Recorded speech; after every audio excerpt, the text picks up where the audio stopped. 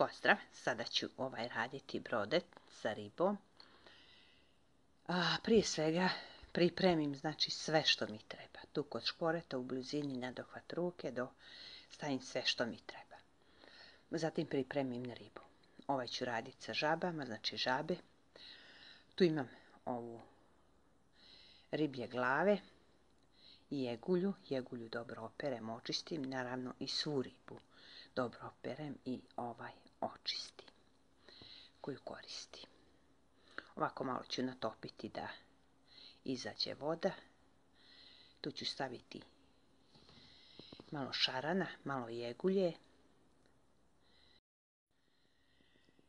e, i žabe. Glave rasiječem na pola. Sve dobro operem i to mi je tu kod šporeta. Prvo što uradim, sipam ulje u šerpu, obično stavim neku dublju šerpu i izdinstam luk. Onako malo kad luk promijeni boju, onda izdinstam luk i dodajem ribu. E, prvo dodajem onu tvrđu ribu. Znači u ovom slučaju to su žabe. Znači prvo žabe malo prodinstam, pošto njima najduže treba. Nakon toga dodajem jegulju. I sve to udinstam. Znači tako sve redom dodajem ribu po tvrdoći. Nakon jegulje ću dodati somić i šaran.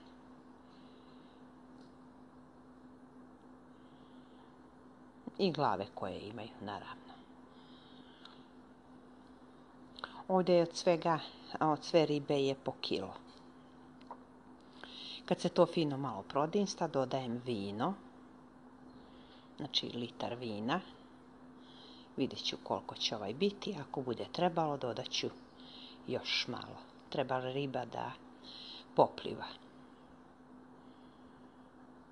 Evo ako znači da ovaj bude i lagano miješati, ne bi baš neke jake pokrete, malo i šerpu protresti. Evo, to je to, znači ona se malo ukuvala. Dodat ću još malo vina, lovorov list, ljutu papriku.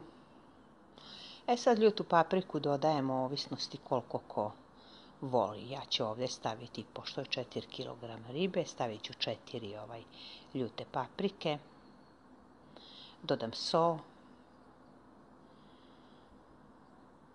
i protresam šerpu. Dodam sjeckani peršun.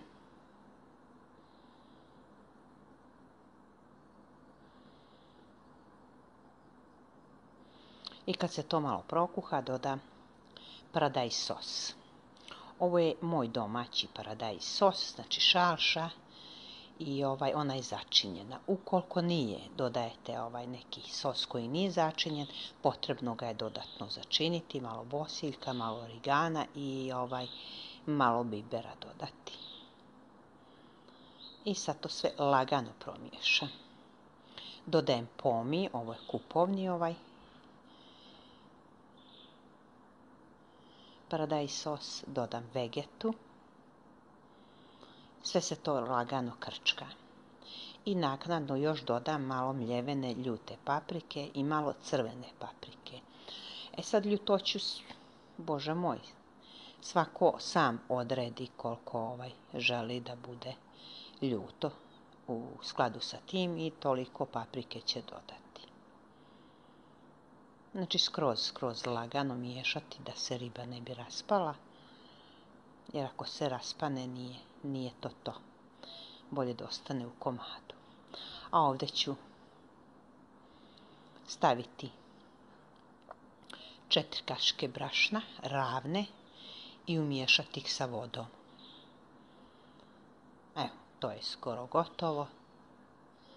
Pogledati da li je gotovo. Čim se odvaja od kosti, znači da je gotovo kuhano. I sad možemo dodati brašno razmućeno. U slučaju da je ovaj žitka smjesa može se dodati i više, ali ja ne bi preporučila jer će to kasnije se ovaj još malo dodatno zgusnuti. lagano umiješati ovaj i brašno. Jako je bitno lagano da se miješa ili samo da se protresa šerpa. I pusti da prokuha minut, dva i to je to. Eto to je to. Brodet je gotov. E sad nakon toga ja ga ipak ostavim nekih 20 minuta ovako poklopljenog u šerpi, malo da miruje da se sve to još sjedini i malo da se zgusne.